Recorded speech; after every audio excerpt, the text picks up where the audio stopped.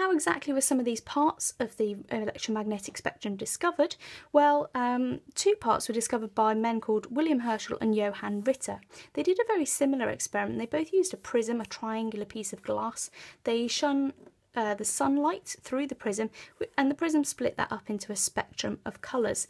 They then put different things in these colours to see what happened.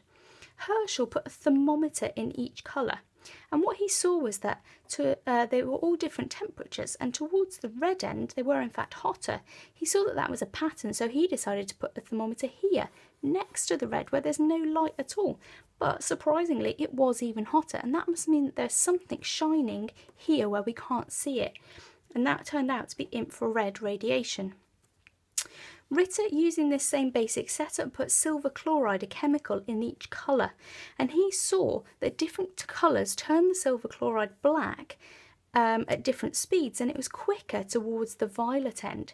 So, seeing a pattern, he decided to put some silver chloride here next to the violet, and it turned out that that went black even faster. So, there must be something shining here that we can't see, and that turned out to be ultraviolet radiation.